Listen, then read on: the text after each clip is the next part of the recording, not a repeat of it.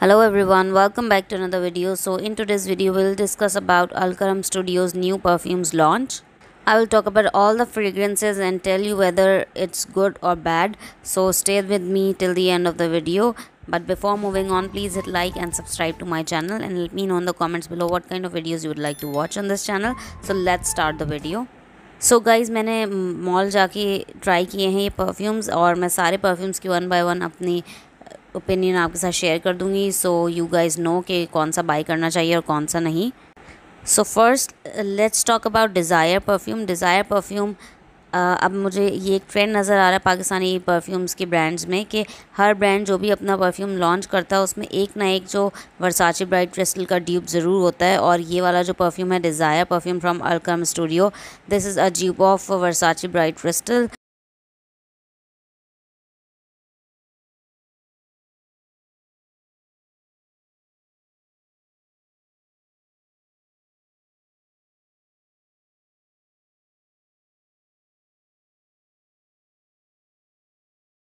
और yuzu pomegranate and ice इसके जो हैं, वो टॉप नोट्स हैं। मिडल नोट्स में पियनी लोटस एंड मैग्नोलिया हैं। और बेस नोट्स में महागनी मस्क और amber which is similar to sapphires diamond and other Versace bright crystal dupes you can watch my video I will link that down below so you know कि और कौन से Pakistani perfumes हैं जो इनका dupe है। तो इस हिसाब से अगर देखें कि वर्साची ब्राइट क्रिस्टल का ट्यूब है, जो कि मार्केट में और भी बहुत सारे अवेलेबल हैं लाइक सफ़ायर डायमंड है और एथनिक है, और भी डिफरेंट हैं, वो आप वीडियोस देख लीजिएगा तो आपको पता चल जाएगा।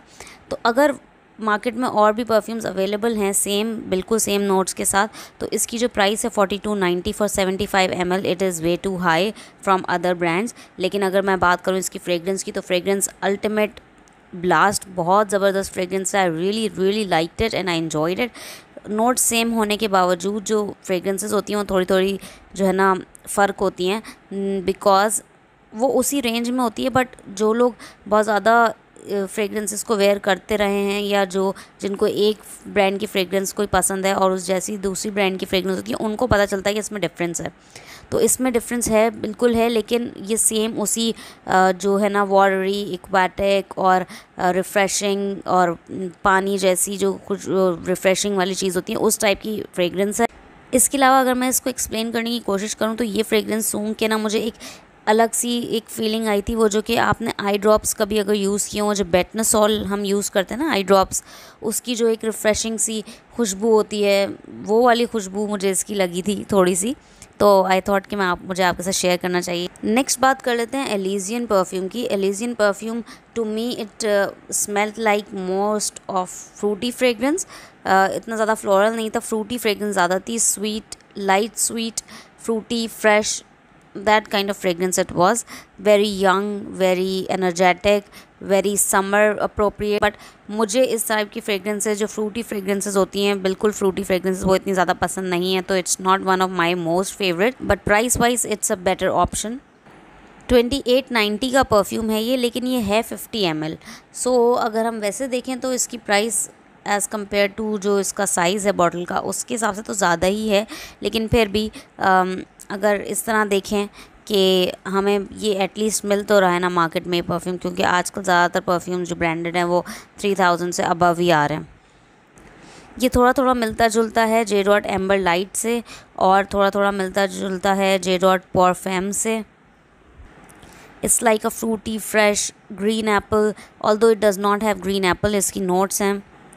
टॉप नोट्स हैं grapefruit cassis peach and mandarin इसकी हार्ट नोट्स हैं, पियनी, म्यूगेट एंड वायलेट। तो कि वायलेट की वजह से थोड़ा सा ज़्यादा एयरी भी हो जाता है थोड़ा सा पाउडरी टाइप का फ्रूटी है। मतलब हैवी फ्रूटी फ्रेगरेंस नहीं है पाउडरी टाइप की फ्रूटी फ्रेगरेंस है। Like fruity fragrance it's not for winter fruity but summer fruity और इसकी जो बेस नोट्स हैं, वो हैं मस्त sandalwood and vanilla so vanilla sweet है और मस्की है, बिल्कुल। सैंडलवुड इतनी ज़्यादा प्रोमिनेंट नहीं है। उसके बाद बात कर लेते हैं जूलियट परफ्यूम की। जूलियट परफ्यूम बेसिकली मुझे इतना ज़्यादा पसंद नहीं आया क्योंकि इसमें इट्स अ रेसबेरी परफ्यूम और ये जब मैंने वहाँ पे स्मेल किया था, मुझे तभी समझ आ गया था। मैंने घर पे आके इसकी नोट्स देखी तो इट तो इसमें वाकई रेसबेरी था और बहुत ज़्यादा raspberry berries kind of fragrance है। It's not strawberry fresh refreshing light fragrance नहीं है। It's very raspberry very heavy sweet very juicy I think it's not appropriate for summer seasons और uh, थोड़ी थोड़ी ये उसकी तरह हैं स्टूडियो फ्यूशा परफ्यूम जो है ना अरमाफ का। It's more likely that perfume वो भी बहुत ज़्यादा रेसबेरी है लेकिन उसमें वेटेवर भी है इसमें वेटेवर नहीं है सो उसके अंदर जो एंड में बेस नोट्स में जो अर्धीनेस है वो इसमें नहीं है। लेकिन दोनों में रोज़ है उसमें भी रोज़ है इसमें भी रोज़ है।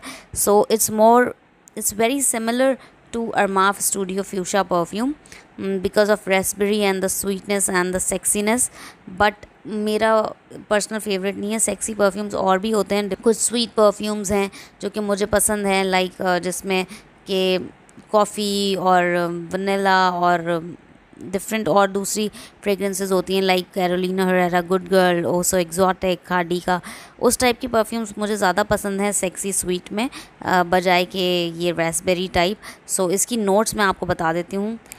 टॉप नोट्स हैं lemon lime raspberry cassis and pear quite fruity as you can see middle notes हैं datura flower lily of the valley jasmine and rose इसके अलावा बेस नोट्स हैं musk vanilla jasmine patchouli and raspberry so raspberry इनके top notes में भी है और base notes में भी है which is a lot a lot of raspberry which I do not like so इसलिए मुझे इतना ज़्यादा पसंद नहीं आया। कुछ लोगों को ये ऐसा लगता है कि इट्स इट फील्स लाइक कि लिपस्टिकी और उस टाइप का परफ्यूम है but it's not makeup vibe एक लिपस्टिकी परफ्यूम होना और एक मेकअप वाइब होना दो डिफरेंट चीज़ें हैं। So it's not makeup vibe but थोड़ा सा ये लिपस्टिकी है क्योंकि इसमें raspberry I think I don't know why थोड़ा सा स्वीटनेस है इस वजह से थोड़ा सा लगता है लिपस्टिक ही लेकिन जो पाउडरी जो कॉस्मेटिक जो वो वाली वाइब होती है ना मेकअप की वो इसमें नहीं है. सो so, मुझे नहीं बिल्कुल पसंद आया.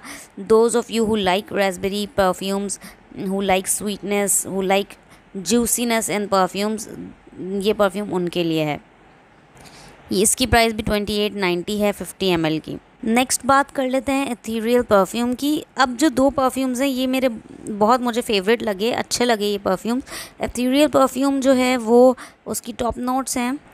Bergamot peach grapefruit and orange then middle notes हैं orange flower jasmine tuberose ylang muguet and violet then base notes हैं orange vanilla musk cedar patchouli and amber so बहुत अच्छा परफ्यूम का ब्लेंड है, आप देख सकते हैं। बहुत समर अप्रोप्रिएट है फ्लोरल है, लेकिन साथ में वुडी है। वुडी ये बिल्कुल हैवी वाला वुडी नहीं है वॉम्थ वाला वुडी नहीं है, बल्कि एरी और ब्रीजी और फ्रेश वाला वुडी है। जो कि ड्राइनेस देता है परफ्यूम को, बजाय के इसको हैवी और विंटर टाइप बनाने की समर टाइप बनाता है। बहुत ज़्यादा इंटॉक्सिकेटिंग परफ्यूम है, बहुत ज़्यादा एडिक्टिव परफ्यूम है। लाइक ये उस उस तरह के परफ्यूम्स में से है कि जिसको आप सूंघते हैं तो आपका दिल करता है, आप सूंघते जाओ। मस्क टाइप है। You can really smell patchouli in it you can really smell orris in it और ऑरेस और वायलेट मिलके इसको पाउडरी बना देते हैं। बहुत सॉफ्ट लाइट फेमिनिन परफ्यूम है. I really loved it floral भी है फ्रूटी भी है. You can not pick one note लेकिन बहुत इंटॉक्सिकेटिंग और मस्की मस्की फ्रेगरेंस है. ड्राई परफ्यूम है.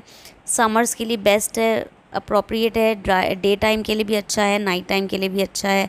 I really like this smell और मुझे ये बहुत पसंद आया था perfume and I do recommend buying it fifty M है ट्वेंटी एट नाइन्टी रुपीज़ का and this was my second most favourite because first most favourite तो मेरा वही होगा obviously Desire because I really like magnolia lotus and peony का combination which is Versace Bright Crystal so it is my favourite but अभी उसको हटा देते हैं तो अगर हम उसको हटा दें तो फिर हमारा जो मोस्ट फेवरेट है, वो ये है ethereal it is my most favourite perfumes among all the perfumes from Alkaram studio तो ये मुझे बहुत अच्छा लगा बहुत समर के लिए अप्रोप्रिएट है और बहुत इंटॉक्सिक मतलब बहुत एडिक्टिव है लाइक और बहुत ड्राई कूल इस टाइप का है फ्रेश परफ्यूम है। फ्रेश मतलब वाटर वाला नहीं है फ्रेश रिफ्रेशिंग मिंटी वाला नहीं है, ये फ्रेश ड्राई वुड वाला फ्रेश है मस्की वाला फ्रेश है। और थोड़ा सा सिट्रस वाइब है इसमें क्योंकि इसकी जो टॉप नोट्स हैं उसमें सिट्रस फ्रूट्स हैं तो सिट्रस वाइब है और उसके अलावा जिसमें ऑरेंज फ्लावर है आई थिंक उसकी वजह से भी सिट्रस वाइब आ रही है इसके अंदर ना। सो so, ये भी दिमाग में रखिएगा। But it's a really nice blend of all these fragrances अब मैं बता रही हूँ ना कोई एक फ्रेगरेंस ऐसी नहीं है जो कि बहुत ज़्यादा ओवरवेलमिंग हो। पचूली भी है इसमें so it's very light airy perfume breezy then बात कर लेते हैं सोहो ब्रीज परफ्यूम की, जो कि इसका जो नाम है उन्होंने बिल्कुल सही रखा है। It is more like of a breezy perfume और सिट्रस परफ्यूम है। ये भी ड्राई इंटॉक्सिकेटिंग उस टाइप का परफ्यूम है। It is less of female fragrance तो ये यूनिसेक्स भी कहला सकता है, क्योंकि इसकी अगर आप नोट्स देखेंगे तो इसकी नोट्स ऐसी हैं कि जो यूनिसेक्स नोट्स हैं, इसकी टॉप नोट्स हैं citrus and green heart notes हैं white floral rose and fruity although I did not sense any kind of fruitiness in it. Base notes हैं sandalwood, musk और amber. So बहुत यानी कि dry और यूनिसेक्स काइंड का perfume है citrus है मस्की है, बहुत ज़्यादा मस्की है और एम्बर का भी आपको और सैंडलवुड का इफ़ेक्ट इसमें आपको फील होता है, यानी कि वुड का। So again dry and that kind of perfume मेरा, मुझे पसंद है, मेरा सेकंड मोस्ट फेवरेट है। डिज़ायर को तो आप अलग कर दें, वो तो है ही मुझे पसंद। इसके अलावा मुझे एथीरियल और सेकेंड नंबर पर यही पसंद आया था, ओहो सोहो ब्रीज़ सो ये भी मेरा फेवरेट परफ्यूम है, लेकिन थोड़ा सा स्ट्रॉन्ग जिन लोगों को पसंद है फेमिनिन से थोड़ा सा हट के है थोड़ा सा फ्लोरल और वुडी और मस्की फ्रेगरेंस है ये।